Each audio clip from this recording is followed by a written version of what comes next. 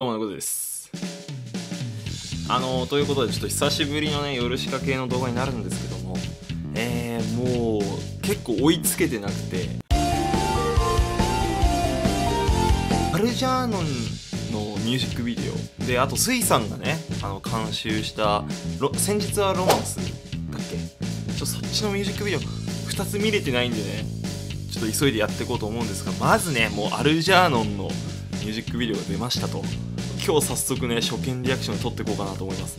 もう3月後半でね4月入ったらガンガン多分幻冬に関するなんか情報とかそれこそねもう CD アルバムも届くしちょっと急いでいきたいと思います。今日まで我慢したぜあるじゃんずっとねあのこうおすすめに出るんですけど、見ないようにな。せっかくなら動画撮りたいしなと思ってずっと見ないようにしてきました。じゃあ早速見ていこうと思います。再生。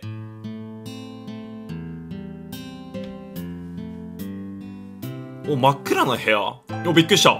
え目と目？わあ鳥だ。目。おなんだなんだなんだ。ななんだなんだなんだ。なんか転がってんな。わあ。粘土の人？なんか植物とこのなんか謎の物体のあれが面白いね。迷路？これこれ何？これ何？おお動いてるな。この植物の動き綺麗だな。すごい。いろんな動物だ。なんか前世のいろんな動物みたいなイメージなのかな。うわすごいこれ。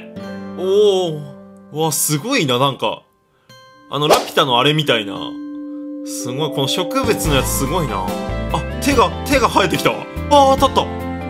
あこれ迷路の中なんかな。あ転んだ。すごいすごい。あ迷路から出たわ。あ逆再生だ。えー、なんか画角が画角がちょっとえー、崩れた。えー、え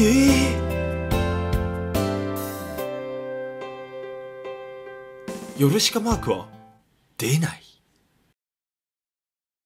まあということでちょっとヨルシカのねあのアルジャーノンの、えーミュージックビデオ見ましたけどなんかこう砂で崩れていく感じはね「風をハム」のミュージックビデオをちょっと思い出したり前世を見てるからライブで。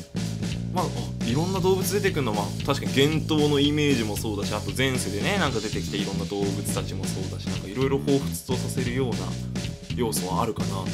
鼻の逆再生とかすげえ綺麗だったね。シンプルに好きアルジャーノン。あーなるほどね。であのアルジャーノンに花束を。まだ俺原作読んでないから。なんかねコメント欄読んでると原作読んでるとミュージックビデオすごい合ってますとかっていうコメントもあったりするので原作も早く読めればいいかなと思います。ということで今回はアルジャーノンにアルジャーノンの、えーミュージックビデオ初見リアクションで見させていただきました。ということでした。ありがとうございました。